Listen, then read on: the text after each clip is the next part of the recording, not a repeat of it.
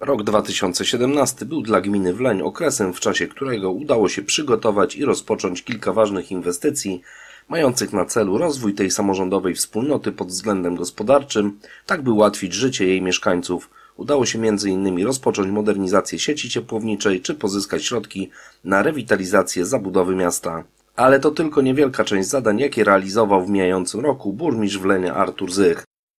No przede wszystkim przygotowywaliśmy się do projektów, które są finansowane przez Unię Europejską.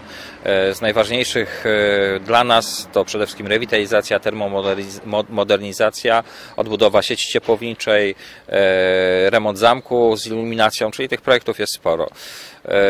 Jeżeli chodzi o kwestię termomodernizacji, dostaliśmy 3 600 tysięcy złotych na remont 8 wspólnot mieszkaniowych Wleń niestety no, nie, nie wygląda na, na, dzień dzisiejszy najpiękniej. Chcemy, żeby on był naprawdę e, pięknym miasteczkiem, zadbanym.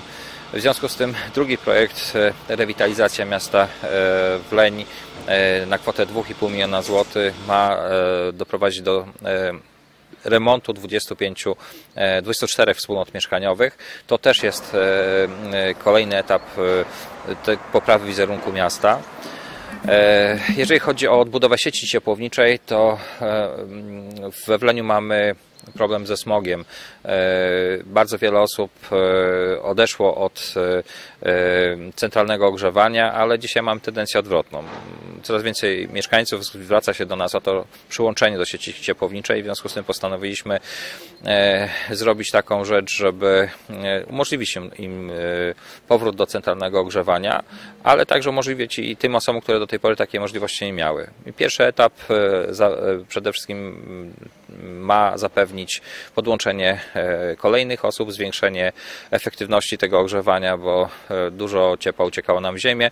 No, a w następnych etapach chcielibyśmy coraz więcej osób przyłączać w kolejnych pierzejach rynku, a także na ulicy Kościuszki, być może Dworcowej i Kościelnej. Trwają intensywne prace na zamku w Leń.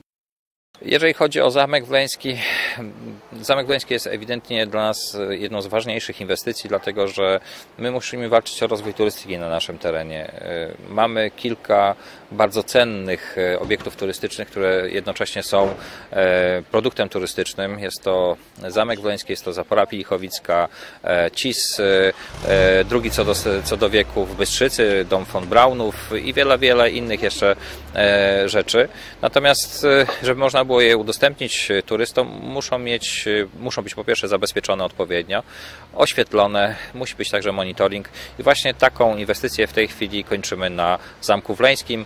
E, niedługo zamek będzie udostępniony przez cały rok e, e, tym, którzy będą chcieli go zwiedzać, a myślę, że jest to naprawdę bardzo, bardzo wysokiej klasy zabytek i jednocześnie wielka atrakcja turystyczna.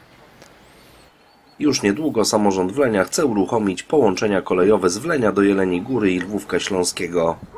Ważnym elementem w naszej gminie jest e, e, komunikacja. Wiemy dzisiaj, że komunikacja samochodowa e, przeżywa spore problemy. PKS-y mm, ograniczają ilości przewozów ze względu na to, że no coraz więcej osób posiada samochody. Jednak w wielu miejscach i na świecie, i w Polsce komunikacja kolejowa zaczyna wracać do łask ze względu na wysoki komfort, stosunkowo niskie koszty, a przede wszystkim bardzo wysoką, wysoki poziom e, e, ekologii w e, tym transporcie. E, walczymy o naszą linię, chcemy, żeby po naszej linii mm, e, jeździły pociągi.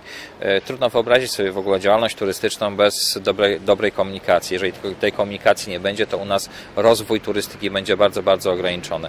Dlatego też w tej chwili rozmawiamy i z Ministerstwem Infrastruktury, i z oddziałem PLK w Wałbrzychu, i z firmą SKPL, która mm, tak naprawdę jest gotowa wejść na nasze tory, jeżeli dostałaby tylko błogosławieństwo odpowiednich urzędów w Polsce. Do zapoznania się ze szczegółowym wykazem inwestycji i zadań zrealizowanych w gminie w roku 2017 zapraszamy na strony www.lubański.eu oraz www.lwowek.pl